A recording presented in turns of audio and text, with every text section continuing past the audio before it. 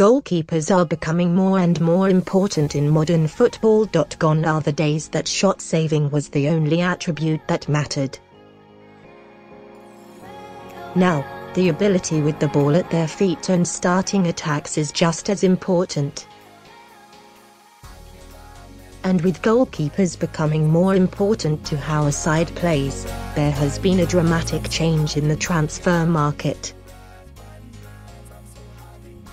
Gianluigi Buffon held the record transfer fee for a keeper for 16 years when he moved from Parma to Juventus for £33 million. That was finally broken in the summer of 2016 when Manchester City signed Ederson for £35 million. Then, last summer, it was taken to another level with Liverpool snapping up Alisson for £67 million before Chelsea brought Kepa Arrizabalaga for £71 million.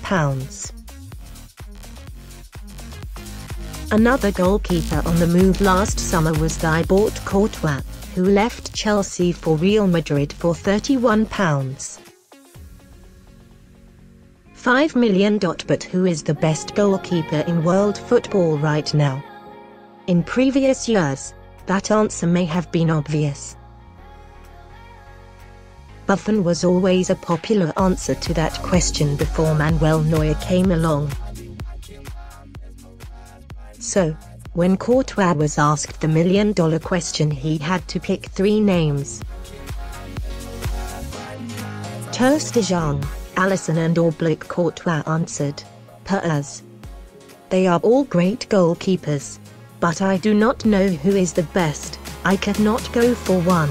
That depends on the defense and also on the whole team. I think I have already shown that I am at a high level. That's very modest of the Belgian not to put himself in their there. But what about David de Gea?